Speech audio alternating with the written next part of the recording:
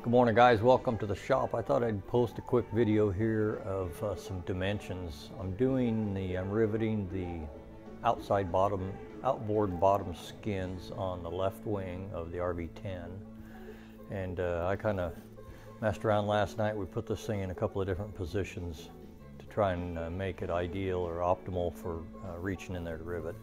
Um, this is where you uh, start riveting the skin here in this position. This is uh, not quite in the middle, but um, if you're doing one of these, you've got the plans and you know what I'm talking about. But uh, you got to reach up in underneath of here, all the way up to the rear spar and start there, and then you work your way inboard and outboard both directions, and then you start to come down this way to the J stringer, and uh, then you start reaching in through the holes to do the rest of it. But so it's kind of a challenge, and I'm doing this by myself. It'd be much easier with a with a helper, and I do it that way when when it's available. But it seems like most of the time I'm uh, working weekdays and the wife's at work, so I do 99% uh, of this is by myself.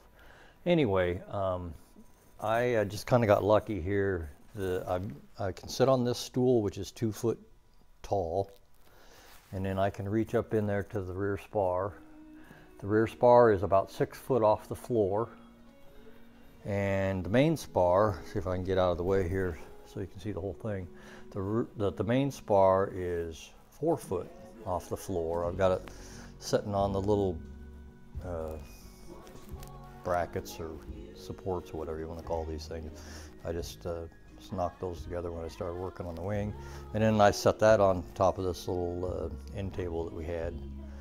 Um, but I had tried setting it up here on the bench. It was a little too high. Tried laying it flat. You can't reach around over the leading edge. Uh, so this seems to be working. Um, I think that's about it. If you got questions or want other dimensions, if anybody's uh, referencing this and, and, you're about to do this, uh, uh please ask. I'd be happy to answer. That's it. See you next time.